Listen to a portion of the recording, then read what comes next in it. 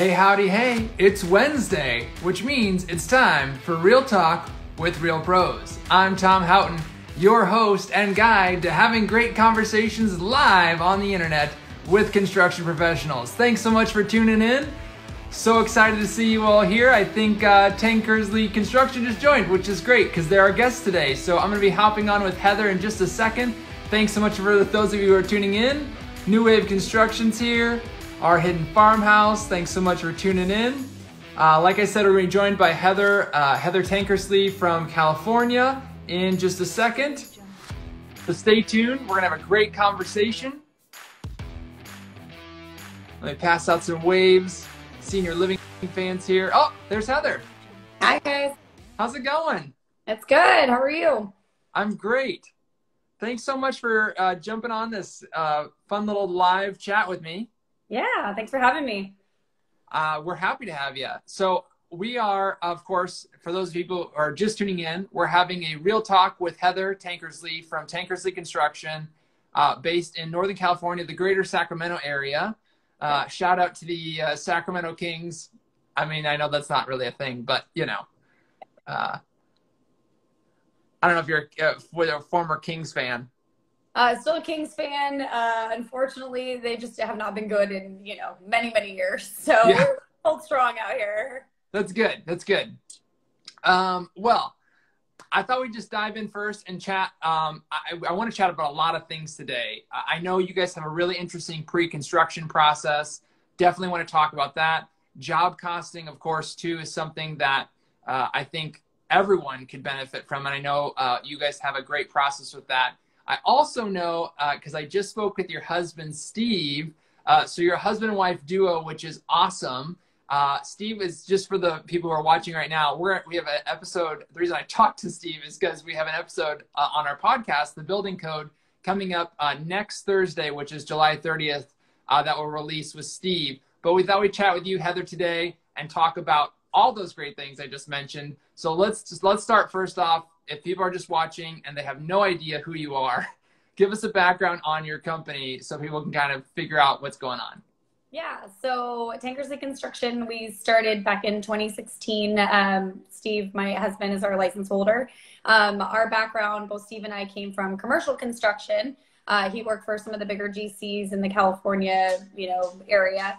Um, my background was in electrical project management. Uh, we've both been in the industry for about 15 years. It's actually how we met was on a job site.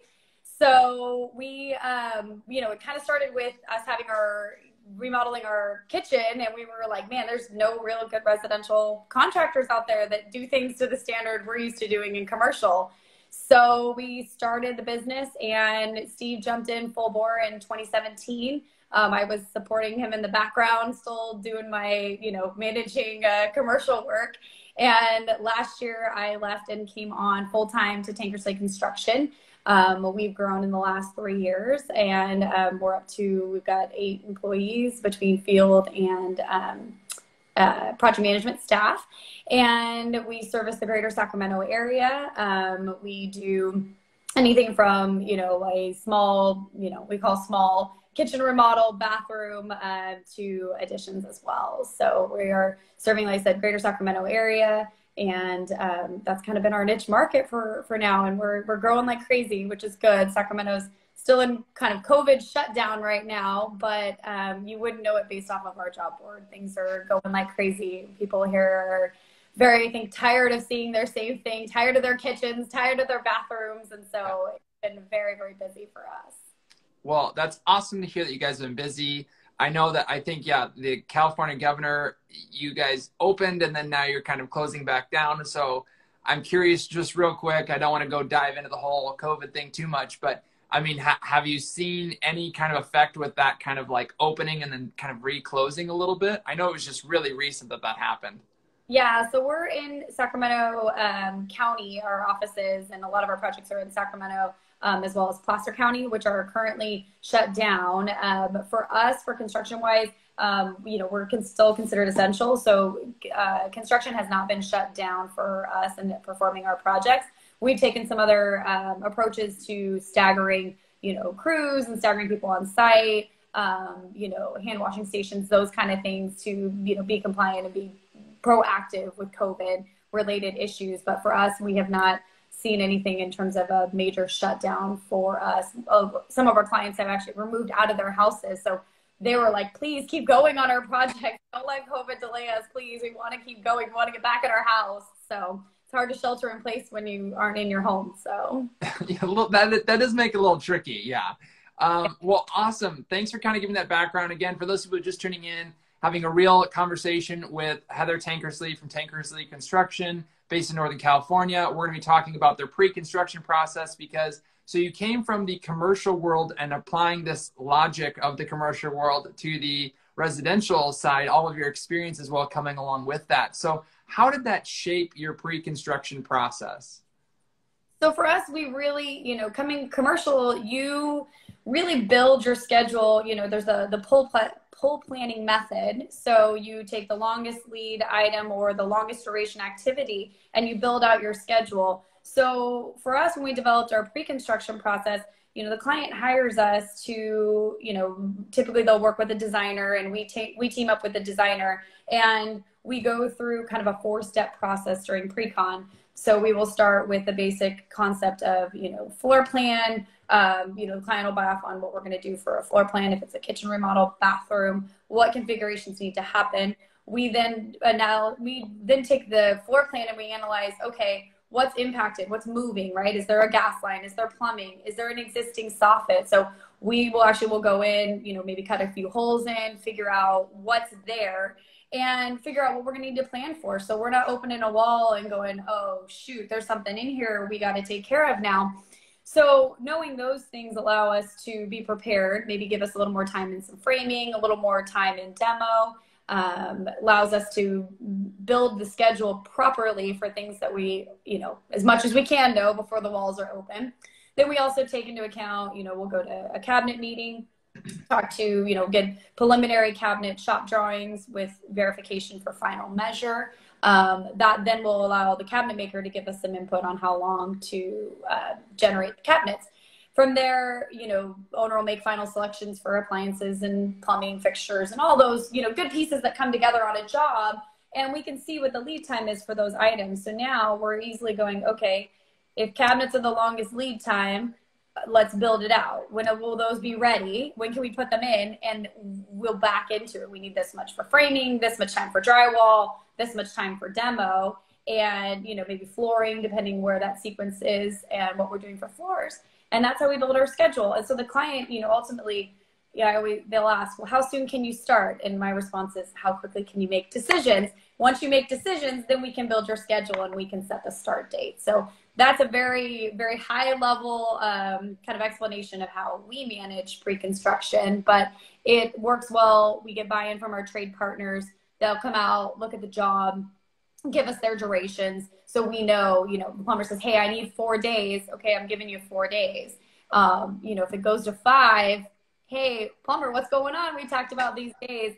So we're getting commitment from our trade partners too. Um, we self perform all of our um, carpentry, both rough and finish, and then we sub out the other trades. So there's our self performed labor and then our key sub-trade partners that we utilize um, that allow us to be able to build very accurate schedules very similar to what you would do in commercial construction as well with kind of a pull planning method everybody makes commitments to what they need for durations who's going to come next and what do you need from the individual that's in front of you in order to do your scope of work fantastic that was a great rundown um, if, if you're watching this and you've got a question too for heather uh, just leave us a comment there i know i think somebody wrote in a question Do you engage uh, in a pre con price for Explorer demo? Yes, we do. So we do st- charge a nominal fee. Um, you know, enough to cover our time, cover you know a superintendent or pre you know pre-con manager to come out and do these things. Typically, it's about four meetings that we'll have with the client Plus, we'll do a sub trade walk and then maybe one kind of exploratory meeting, you know, get the electrician out there or the plumber if there's something major that has to happen for, you know, a reroute or a relocation. Now, let me ask you this. So, you guys are three years, a little three years plus into the business. Mm-hmm. Did you start off doing that, or did you? Was that a change you made after you know you realized how much went into that process, going through all the pre-con stuff? Um, you know, it kind of developed um, out of a recognizing that you know you come in and it's great when somebody calls you and says, Hey, I want you to remodel my bathroom. And we say, Okay, great. Do you have your tile picked out? Well, no. Okay, are you going to do a tub or a shower? Oh, no, haven't decided that yet. So, you know, kind of developing the process as we've gone along. And then we work with a lot of key designers here in the Sacramento area. And so we've really engaged the designers that we work with of how you know how do you build your spec books um, how do you you know help your client with selections and then we kind of work with the designers on developing um, you know strategic meetings to review those things we uh, typically will do a budget for the client. So then they know overall very high level very um, you know uh, broad brush stroke of this is what we think your job's going to cost. This is what we've kind of allocated for you for material allowances or you know countertop allowances or tile. So then as they go through the selection process we're checking in with the designer we're checking in with the client. Have you guys decided these things? Um, you know sometimes we like to i joke i like to be the i'm the bad guy when we have these meetings because um, you know we'll, we'll talk about okay well you know the client will fall in love with something and i'll say hey I can do anything, but that's not what was in the budget. So we try to also work with the, the client and the designer to ensure that if we've set a budget, that we're designing to that and we're sticking with that. So, and it's a very much a collaborative process with the designers that we work with. Fantastic. I mean, again, in talking with you just right now and talking with your husband, Steve, I am so impressed with being three years into the business and being at, running as tight of a ship as you guys run. Uh, I mean, it's extremely impressive. And I, I, I attest that to your experience prior to just kind of going out on your own. You, you're clearly applying all the stuff you've learned and continually trying to make it better, which is extremely impressive. So kudos to you guys. Keep up the great work with that. Um, I wanted to ask you a little about job costing too, because I think – that was your you know your baby bringing that into the into the business. Yeah so my my background and where i'd worked for some various other companies you know you you lived and die by what your you know your committed costs are and your job costing and um, we it was uh, you know it was ctc week at, at, my old companies and it was like the week everybody dreaded because you're going through and you're analyzing where we at with committed costs and how much and what is it going to take to finish the job. And so I, I joke now that every day is CTC day now that you own your own company. So um, it's it's interesting because um, for us it was we we always we always knew job costing was a, a fundamental piece, and we you know we set up our company that way from the start, which was good, but um, it's getting all the various layers and getting it built in and kind of building the back end. So for us, we we've been using Buildertrends since day one when we started the company, but we've slowly been integrating all the parts and pieces. And so um, one of the things that we we kind of joked about is that I wanted to get all the back end set up and everything talking with Buildertrend and being able to utilize uh, more of the job costing features in Buildertrend. And so I've been working on that, working on it. And you know, there's only so many hours in the day. And then COVID hit.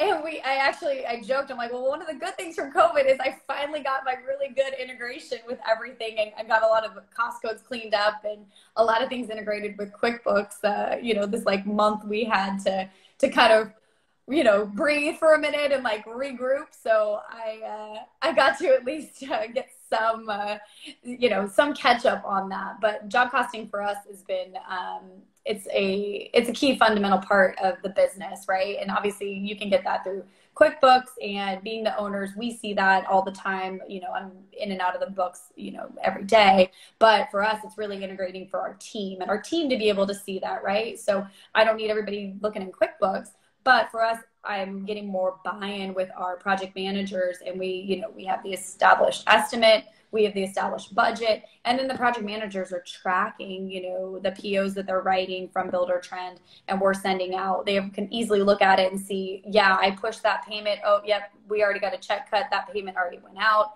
And they can see it in real time right there when the sub's on site and they're going, hey, why haven't I got my check yet? And it's like, oh, look, I'm looking in Buildertrend. Yep, it got cut on this date. It already got sent out. So for us, that's been a, a big plus and something that we've got, we finally got to get to, to roll out and do this year. So.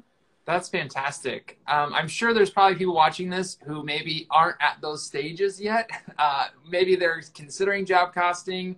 I mean, I kind of feel like it's a big process. You kind of admitted to that. What would you say to somebody who's not doing it, who wants to do it?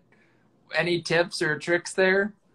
So I think it's really, um, I think it's it's hard because if you don't have if you don't have an accounting background or if you're not the person doing the books every day, you really have to get buy-in from whomever is doing your AP um, and doing your payroll and really understanding the process of how QuickBooks and Buildertrend push to one another and how you make that reporting happen. Um, my recommendation is you pick a job pick very basic, like labor, material, and subs, right? Those are the key th- three key things. Um, and just do a very basic, like, can I, if I put this in, can I see it here? You know, and oh, look, there it is, right? And just start small. Start small. Don't don't don't try to do the whole company at one time. It's hard. Um, but if you at least pick a job, you know, maybe it's a small job you know that's going to be over in two weeks um, so you can easily in real time see it. You're not waiting, you know, a job that's a six month duration. Oh, what went wrong? What didn't, right? Pick something small, start small. Um, really get your team bought in if you have somebody else doing AP and AR um, and understanding how that system works. Yeah, that's good. Um, did you, so with all this, all, all this job costing, again, you're tracking a lot of data, especially because you're doing a lot of work on the front end with the pre-construction process. Mm-hmm you're doing job costing. Again, was this something that you went into knowing like, hey, if we're going to scale, we've got to do this because you're going to watch the bottom line, or like, is that where you're driving the the scale from? If if that makes sense, does that make sense?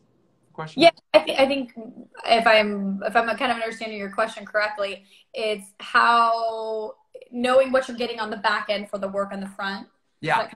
Kind of, yeah. So for us, really, I would say um, in real time for us to be able to analyze that. It really took us um, looking at historically what we did maybe last year when we were doing as an extensive pre-con. We were doing, we were kind of getting the wheels on the bus going a little bit. This year, now we can really look at um, labor hours and take maybe what would be, you know, take a $50,000 bathroom remodel. How many labor hours did we spend, self-performed labor hours?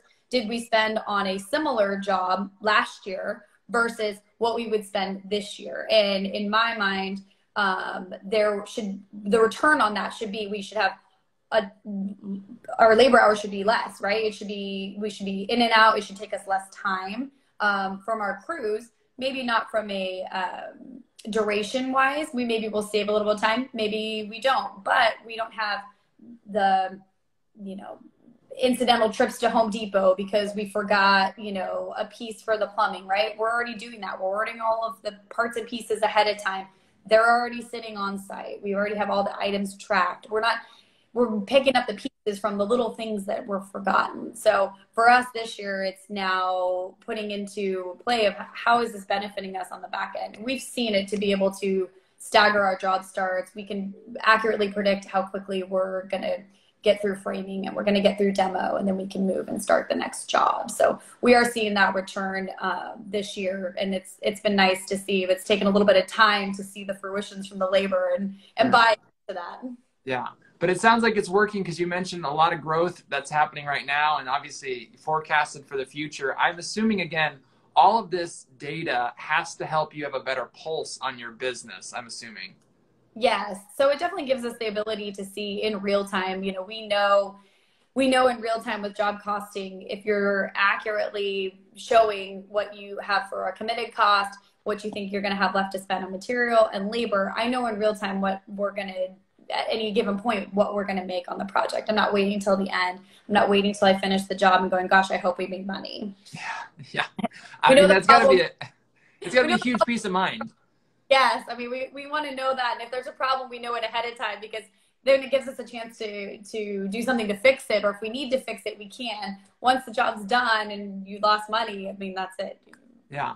How does well, this translate to your customers? I mean, again, as a consumer of construction, you know, I hear speaking to you that you can go into my project and you can track kind of all of these details. And I feel like I'm put at ease by this because you know so much about what's happening versus, you know, like again, working with various contractors, sometimes they'll be like, oh yeah, that'll cost uh, 10 grand. And then you start working on it. It's like, oh, yeah, maybe it's 15 now. And I don't really know. I'm not really sure, you know, like, uh, so I'm assuming that your customers have received this well. Can you tell me about that process and working with them and getting them on board with this kind of method of doing things? Yeah. So for us, you know, it's really been a finding the right fit and the right customers that buy into our process. Um, we're not your average, you know, contractor. Um, and we tell our customers up front, we're not you know, we're not the most expensive guy in town, but we're also not the cheapest guy, right? But what you're getting and the peace of mind, like you kind of described, of knowing your job, knowing your scope. I mean, before we even start swinging a hammer and demoing your house, we know what it's going to take to go build it. We've already vetted, you know, all of your materials. We already know, hey, your panel needs to be replaced and we're going to have to do a new panel we're going to have to get the utility company involved. We're already scheduled to do that. We're going to put a new panel in. We got to run new circuits. Like we're already working through all these things. So by the time we're ready to go, the field is running. And the clients that we want to work with and the clients that value what we bring to the table, they're on board.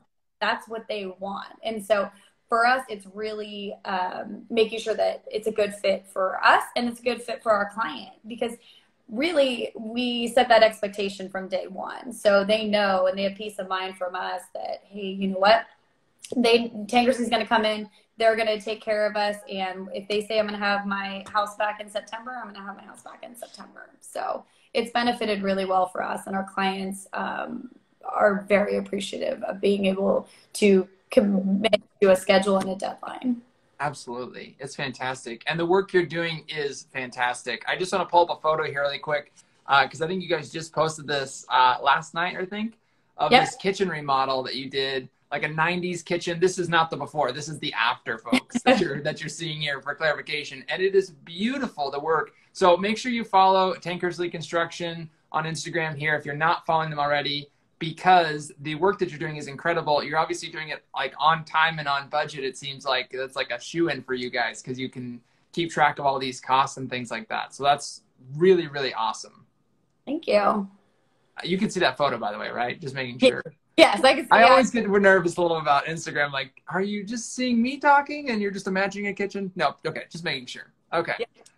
Awesome. Well, let's let's do this. Let's spend a couple minutes talking about um, kind of trends that you're seeing in your area. I mean, obviously, we just kind of showed that kitchen. I know you mentioned kitchen remodels a lot. What other areas are you focusing on in terms of your business, and what are you seeing in terms of what you're getting from your clients right now?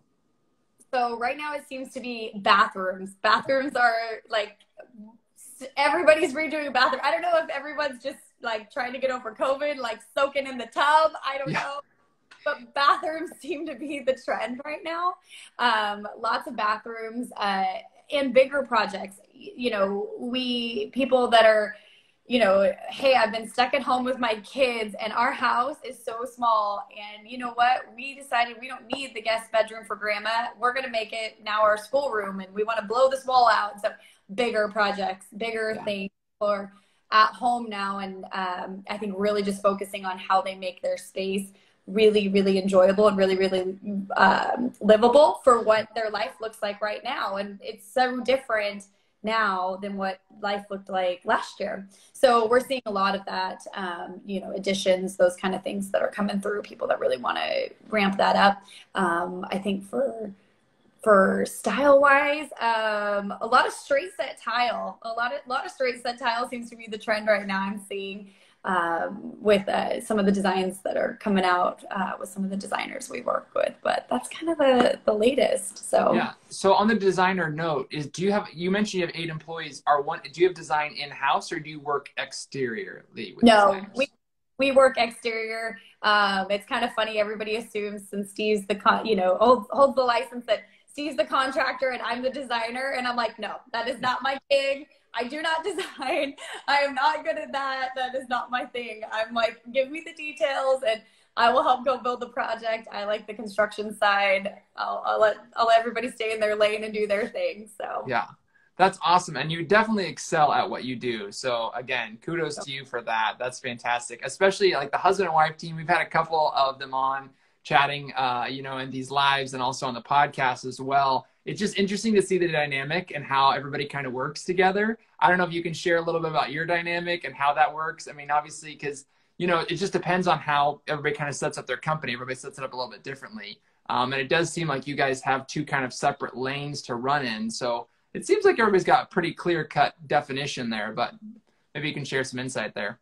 Yeah. So um, for us right now, structure of our company and how we run. So Steve's president of the company. He's the face, the first meet with the client. Uh, project in- inquiry comes in. He's the one who goes out, looks at the project, um, you know, meets with the client first off, does the initial estimate for the client.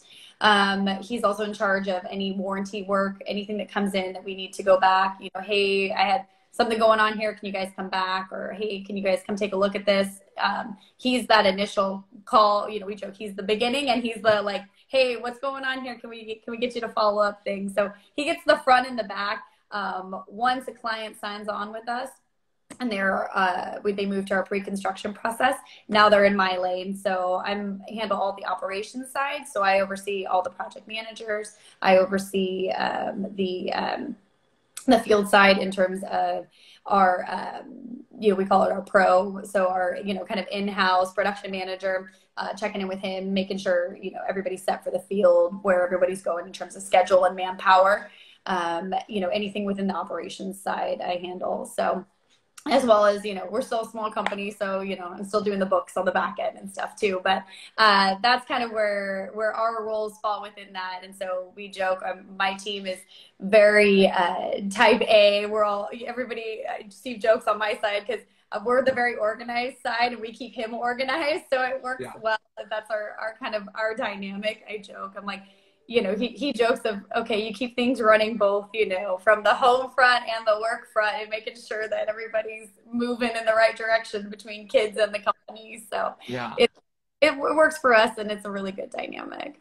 That's fantastic. I mean, you you both sound very busy. Uh, obviously, you specifically have a lot on your plate, and again, just uh, it's amazing to talk to you and just hear how well you're handling not only the business but also, like you said, like the home life too. I mean, that's got to be a balance and a juggling act that I'm sure, again, most people have to deal with. But it's just tough when you're running your own business and doing all of that and staying on top of all these projects. I don't envy your situation, but you're handling it very, very well. So again, well done.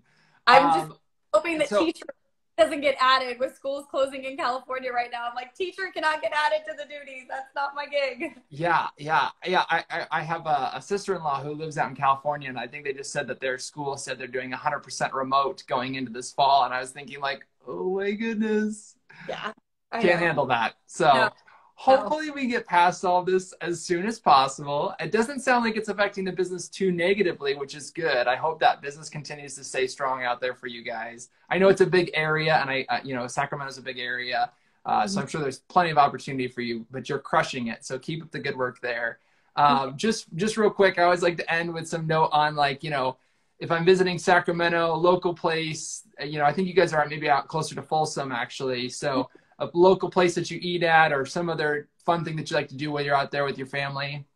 Oh, so if you're going to Folsom, obviously, um, you know, iconic everything. Everybody's like, oh, Folsom, Folsom Prison, right? Exactly. Yeah.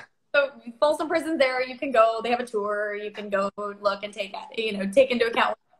Um, for us, we really like uh, we we go boating. So Folsom Lake is great. There's tons of places to um, you know, post up on the beach or, you know, rent a kayak. There's Lake Natoma that feeds off of the dam from Folsom. So paddle, stand up paddle boarding. Um, Old Folsom is great. There's tons of, you know, little local restaurants um, that right now we're really wanting to make sure that we support uh, so that they're there. But um, lots of great, you know, eateries, pizza places, you know, taquerias, that kind of stuff that are all in Old Folsom. So if you get a chance to check out Folsom, um, you know, it's it's near and dear to to our heart. That's where you know we we got our start and where we lived, um, and so it's it's great if you get out to Folsom, California. Uh, check out uh, Old Folsom and everything it has to offer.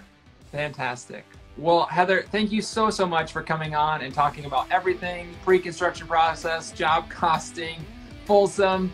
We covered a lot here. So thank you so much for sharing all of your insight. And again, we wish you the best of success in your business going forward. Um, and thanks so much for tuning in today. Awesome. Thank you. Bye, everybody.